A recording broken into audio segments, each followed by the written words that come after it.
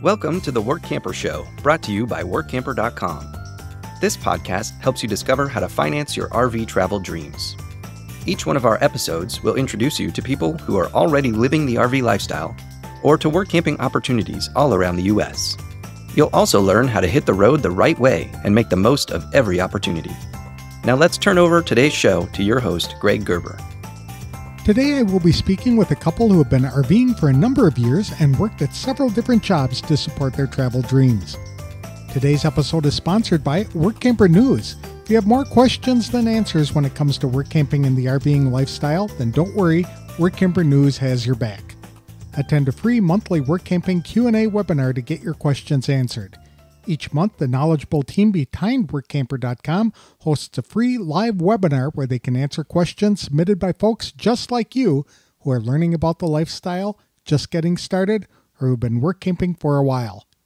They cover topics like what kind of work camping jobs are available, what do those jobs pay, tips for writing a work camper resume, questions to ask an employer, what type of RV is best, how to get your mail as an RVer, and much more. In the description of each video, you'll find a list of questions that are answered so you can quickly jump to the sections you want to hear. Register for the next live webinar at workamper.com forward slash answers. Or listen to detailed answers now by watching the recordings of past Q&A webinars on the Workamper News YouTube channel at youtube.com forward slash workamper and click on the Q&A on Work Camping playlist. James and Tina McCoy are originally from Pennsylvania, where James served as a pastor for 27 years, working with youth and in organizing missions and local outreach programs. Life was grand for them until COVID hit and put an end to all public gatherings in super strict Pennsylvania. So the couple sold everything they had or gave it to their three children. Then they bought a truck and fifth wheel and hit the road looking for adventure. They were retiring a bit earlier than they had expected. However, Tina discovered the Workamper website and saw there were lots of jobs available for people who still wanted to or needed to work. Since then, the McCoys have worked at Glacier National Park and Grand Canyon National Park. James also worked as a non medical transportation driver, and Tina started a 31 business selling gifts and fashion accessories. One of their favorite jobs has been working on the trams at Dollywood Amusement Park in Tennessee, James serves as a driver, and Tina works as a conductor, making sure everyone is on the tram. She also points out things to guests as the tram moves along. The couple has been enjoying some wonderful perks on their journey. The free RV sites are nice, but the ability to see bears while working brought them a different type of enjoyment. They have access to a free clinic at Dollywood, and they also get free admission to a lot of shows and attractions they discovered that work camping for companies like Xanterra Corporation opens the door to multiple work camping opportunities in different states. The biggest perk for them is the flexibility to travel wherever they want to go and to make adjustments to their itinerary on the fly in order to take care of family emergencies that may arise. To tell us more about their work camping and RVing experiences, please welcome James and Tina McCoy to the show. Thanks for joining me today, James and Tina. I really appreciate the time. So tell us a little bit about yourselves and how you got involved in RVing. I was a pastor for 27 years and I was in one church for three and a half years. And I was in my longest church for, or in Pennsylvania for 23 years. I was the youth pastor and missions and outreach. When COVID hit, all that changed because Pennsylvania was really strict. They shut a lot of things down. I couldn't do any outreach. I couldn't go out in the community. And they put me in charge of COVID protocol, oh. which was re- really a drag. And I got burnt out and got really stressed out over it and just really had an emotional meltdown. Tina and I decided that we literally sold everything we owned, bought a truck, bought a fifth wheel, and we headed out on the road. And our kids came and got everything they wanted from the house. It was like we were dead and gone. And Tina took care of most. I mean, we did a little bit of research, but we did all this in the midst of COVID and in a matter of eight months, sure. October, November, December, five months. Yeah. How did and, you discover work? Uh, that's Tina, and that's Tina's thing. I just got on a website called Workampers, and we knew we were planning on getting an RV in retirement. It was just happened to be a little bit earlier than what we had expected. And so, yeah, I looked on this Work Ampers website and found all the different jobs that were available to people.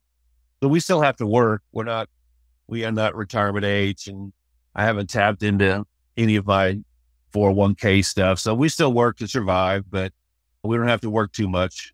We, we live pretty simple. What kind of jobs have you worked? Our first jobs were in Montana at the Glacier National Park. We lived on the east side of Glacier National Park, outside of Babb and, and St. Mary's, Montana. Beautiful place. It's not very commercialized. If you go over there, you're really out in the woods. Uh, we actually lived on the Blackfeet Indian Reservation, and I drove a trash truck. I picked up trash on the east, whole east side of the park. I drove the east side of the park every day, and it, it was just phenomenal. I loved it there. He got to see bears. He came and told me all his wildlife stories Uh, every I- day. Yeah, bears try to get in the truck, the trash truck, my park very long. And then, so I did that. And Tina worked in uh, retail, in a retail store. I worked at the camp store, Rising Sun Camp store in St. Mary's area. And we worked for a company called Xanterra. They handle, they do all the hotels and stores and restaurants inside the park and inside a lot of the parks out west, actually. It's a beautiful park. I know that I went up there to celebrate my 60th birthday. So that would have been in 2020 in the middle of all the COVID stuff. And there was still a camp store open, but the east entrance was closed, if I recall. Yeah. Yeah. Yeah, it was because the Blackfeet Indian have the rights to open or close that. And you have to go through Browning to get there. And Browning was shut down. It was a ghost town during that time. Very good. And what did you like most about being in Glacier National Park? Oh, wow. the mountains and the solitude and just being burnt out the way I was, I really needed some downtime. And that really gave it to me. And so the mountains, the hikes, the glaciers, the people we work with are great too. The people we worked for were great. My boss was great. It just, and a lot of other work campers, a lot of other seasonal workers that were just doing the same thing we were doing. I would imagine that would be a very fun place to work, but is it cold up there? It does in the wintertime. It gets cold. In the summer, it's just the highs are like 80, 90, no humidity. The last time we were there, we got eight inches of snow in the middle of June. Uh, Inches of snow in June. Yeah. When I got there the year before that, they had three foot snow drifts outside Many Glacier Hotel. And we had to move snow so I could get into the bear room because all of the trash is secured in bear rooms or bear box kind of stuff.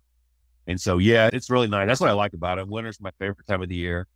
hiking aspect of it. I drug my oh, husband Oh, on. I worked him up until we finally went to the Grinnell Glacier. We actually went to a glacier and just the turquoise, beautiful water. But it was a 10 mile hike. We told me it was six. I told no. I told him we, we could go all day. We could take our time and go slow, but it was a 3,000 feet elevation. But it was, we got to the top and there were rams up at the top and the glacier water was beautiful. And we just took our time. But yeah, he says now that I about tried to kill him. What other kinds of jobs have you worked? that that first year we did I did trash and she did the retail. The next summer I started out in trash and then but I switched to security. I did security there and she stayed in retail. And then one we went to Williams, Arizona. And I did In security Canyon. in Grand Canyon. I did mm. security there. I actually was gonna try out for an acting position on the train. They do that. The Polar, Polar Express. Express. But I decided not to and I went ahead and took security job there and Tina worked in retail. Hey. We stay at our daughter's house. This isn't really work camping, but in the winters, I would stay at our daughter's house, parking her driveway, and I did some non-medical emergency transport kind of stuff. I was driving. and I did my 31 kind of uh, side gig on the side. And my daughter's 80 year old neighbor had just lost her husband to COVID. So I would go over her house on a weekly basis and have a Bible study with her. But it ended up that we would call and talk to each other every day. I think she was really lonely and trying to cope with life without her husband. So we were there at a what we call a God moment. It was just an opportune time for us to be able to be there. And And across the street, a guy brought a pastor into my life that had been down the same road I've been down, and so we clicked. Who we're still friends with him, and he actually was here a couple weeks ago visiting Dollywood, and and then we came here at some point. Uh, my dad had a heart attack, and we went and took care of him. We went and saw my daughter, We went to New Mexico and visited some friends. And then we started working here, working on the trams. What year was that? It was October of last year? Uh, yeah, November. We started. We got here in October. I drive and my wife conducts from the back. That's interesting. That Yeah, you're both a- working on the same tram. And that's at Yeah, Dollywood, right? There are actually seven married couples that work out in our on our team. You know, mo- many of us are either post retirement or full time RVers, or in some way have made that transition. Hey, we're not going to work that grind all of our lives. We're going to have some fun. And have you faced any challenges while you've been on the road? Oh my! How long is this podcast? the tire was probably the Uh, we had three flat tires when we left Montana. We got maybe 40 miles down the road, had a blowout, put the spare on, got another 300 miles down the road, had a flat. Oh. And Tina actually saw them when we were stopped. Got down a little bit further, had another flat. We have some friends in Montana we stayed with. I bought another tire. That's one of our biggest challenges. But I mean, it was actually, it was not that big a deal. We just had fun with it and rolled with the changes and he's he's good with uh doing things with his hands. He was able to get that uh what's that the jack. the jack.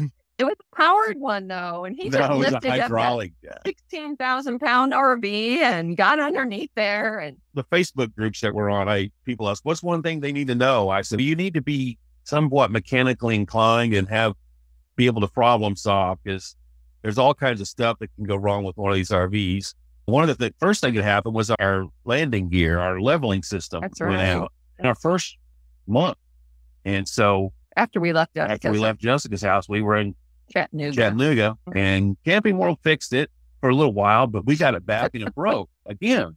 So I called the manufacturer, Lippert, and I was on the phone with them. They were great. I was on the phone with them for three hours, troubleshooting the thing. I got my voltmeter out. We were testing this, testing that, and we just figured it out over the phone, and we haven't had a problem since. And through that process, It was a little ten dollar relay that was not auto set relay, Yeah. and got it fixed. And through that process, I know a lot about the leveling system now. If it happens again, I know what to do.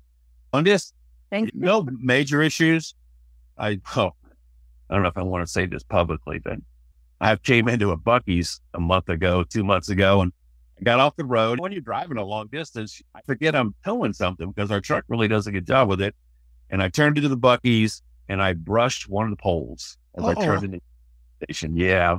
And I always, when I kept pulling in somewhere, I, I had my window down. So I heard it. I stopped real quick. But there's a guy that works with us at Dollywood that his whole career has been repairing RVs.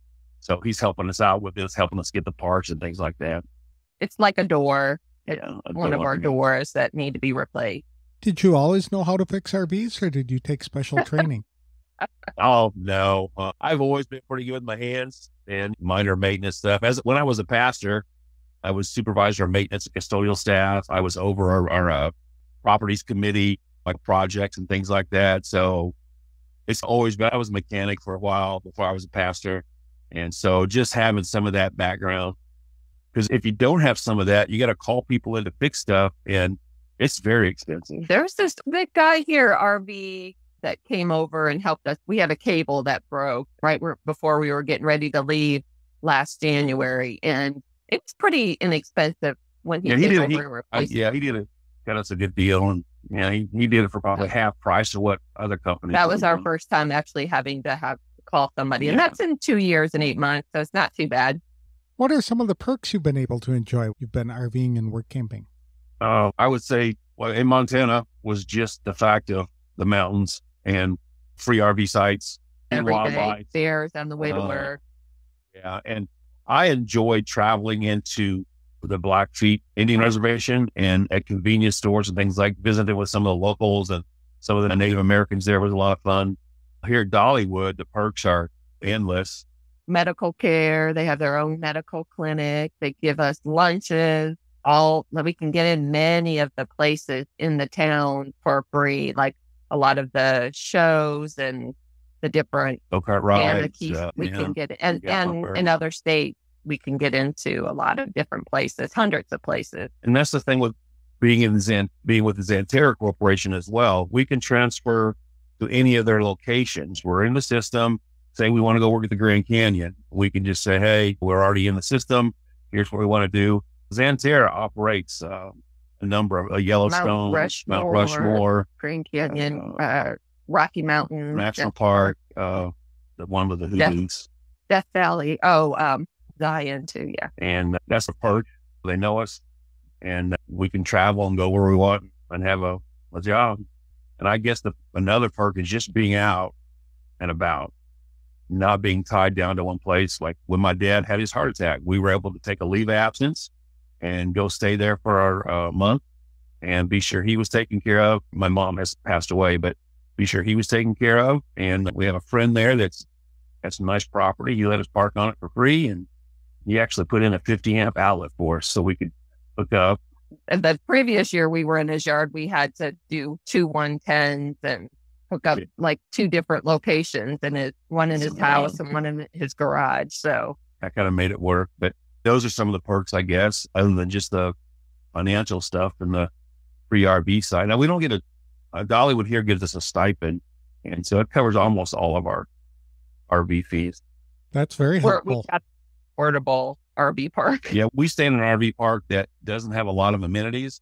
It's a lot of older folks and not a lot of kids. And they got a small pool, shower house, and laundry.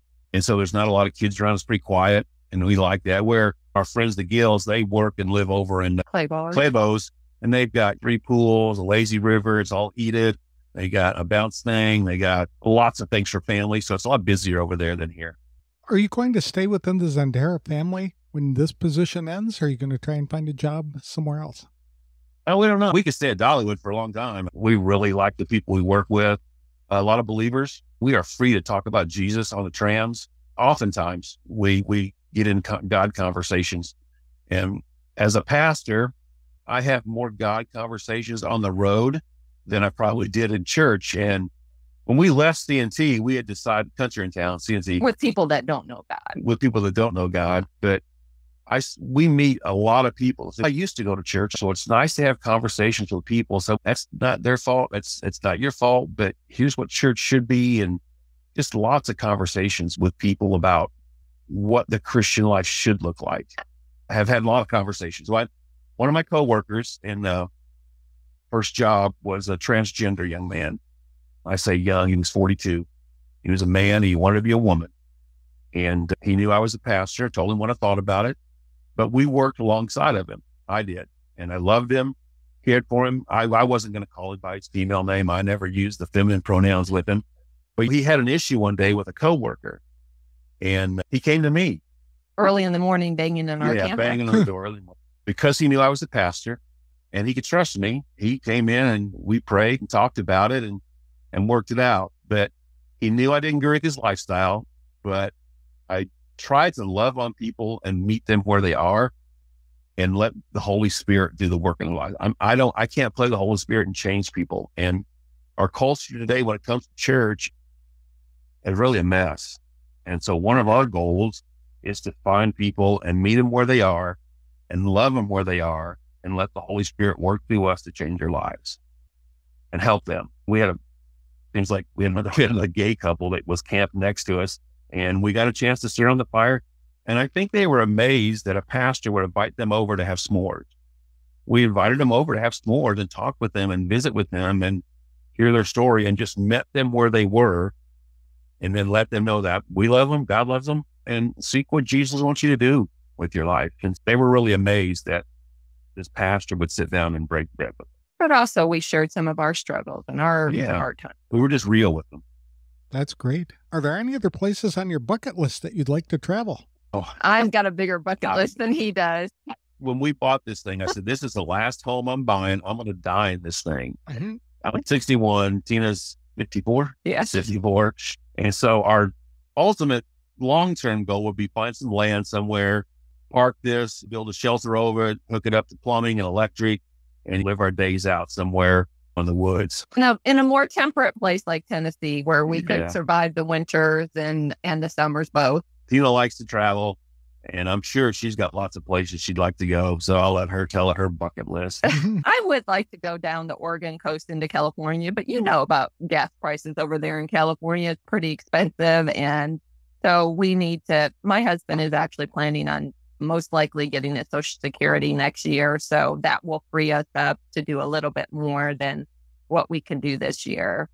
Next July, he'll be able to do that. So we'd like to, but he's getting, he's wanting to more settle down. And so we're just praying about what God has next. I, yeah, I tell people we live simply so others can simply live. We don't have a, a lavish life. We, yeah, a nice truck and a nice fifth wheel, but other than that, we don't need a lot to survive.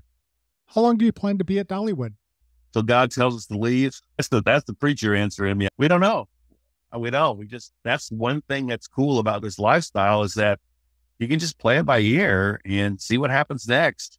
How's my dad going to be doing in the next year? We can go stay there again for a while, take care of him. Uh, I got our kids need us. We can just pick up and go there and find a job. That's we have a we have we are hoping to stay here through January sixth is when the park closes. The Christmas is here really fun, and I like the weather and not too cold here for Tina, and it's not too warm. So we're, we're probably going to stay here through at least Christmas, unless unless God has different plans, which happened to us already this year. So we yeah. started working here in March, and we left a month later in April, and then came back a month later in in May. We were able to do that. That's a fun story. If you had to start over again, is there anything you'd be doing differently? I'd, I would have done it earlier in life. I, if I knew that I could do what I'm doing now and survive and, and share Christ as we travel, I would have done it a couple years early, earlier than what we did. Although we did, James uh, had a story. His story is a little bit. He spent 10 years addicted to drugs and alcohol because four years ago, 30 a long time ago, but he impacted a lot of teenagers, was able to, they weren't able to fool him and was able to do a whole lot in youth ministry. And he gave a whole lot. I guess looking back, the last five years of ministry was hard. James did have some depression and anxiety, and things did get harder for him to cope with. So that's when we were. And then, of course, COVID hit.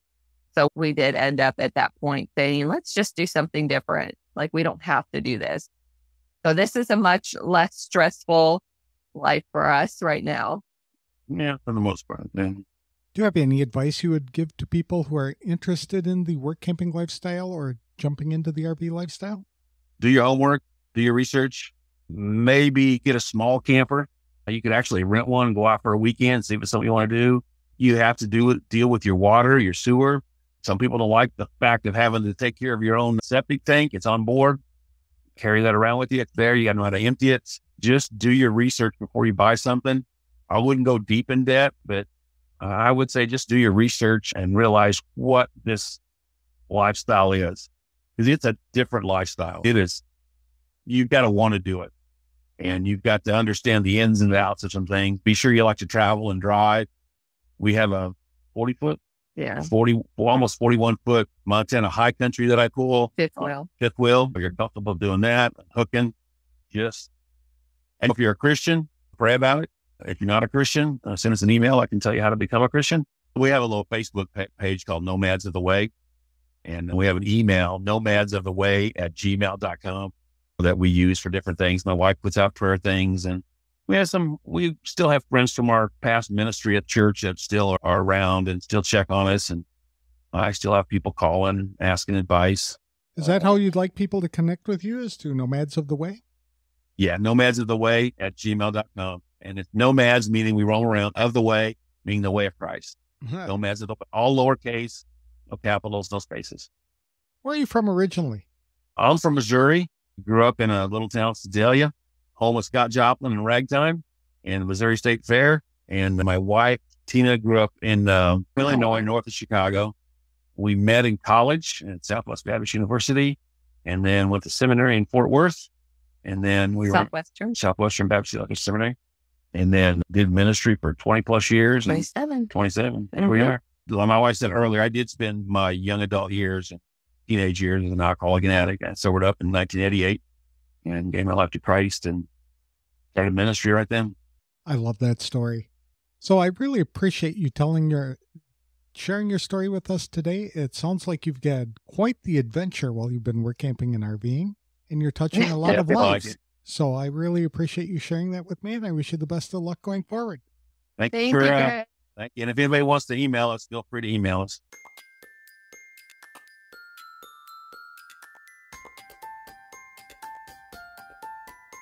I enjoyed speaking with James and Tina McCoy about their work camping experiences and the places they've enjoyed visiting during their RVing adventure. The McCoys have faced some challenges while RVing, like the time when they experienced three flat tires in one day over the course of 300 miles. James worked as a mechanic for a while before going into ministry, but he said it helps to be somewhat mechanically inclined with the ability to do some problem solving while RVing. Without that knowledge, RVing can be expensive because people will need to rely on mechanics to address frequent repairs. James said he has had more conversations about faith with people on the road than he ever expected. He outlined several opportunities where he and Tina could meet people wherever they were on their faith journey, love on them, share their stories, and answer their questions. The McCoys still have a lot of things on their bucket lists which they'd like to accomplish before finding land in a temperate climate to develop a new home base. Jim and Tina don't live a lavish life, but they realize they don't need a lot of things to be truly happy. For now, they are content to spend the Christmas season at Dollywood, but they remain open to new adventures. To connect with the McCoys, email them at nomadsoftheway at gmail.com or check out the Nomads of the Way Facebook group. Today's episode is sponsored by Workamper News. With its diamond and platinum membership tools, Workamper News is much more than just a job listing website. When you put the tools of this professional service into action, you'll find out just how easy it can be to turn your work camping dreams into reality. The one year memberships open the door to a one stop shop for all things work camping. Being the original resource for work camping, you'll find the largest number of job listings, be able to connect with a community of work campers, and view resources compiled by experts who've been enjoying the RV lifestyle for many years. If you're serious about leading a successful and enjoyable work camping lifestyle, then a diamond or platinum membership is for you. You can even get started with a free 30 day trial by visiting workamper.com forward slash trial. Embark on new adventures today with the support of Workamper News behind you. That's all I have for today's show. Next week, I'll be speaking with the CEO of a company which specializes in creating innovative living and working spaces in RVs, especially vintage Airstream travel trailers. I'll have that interview on the next episode of The Workamper Show. Thanks for listening.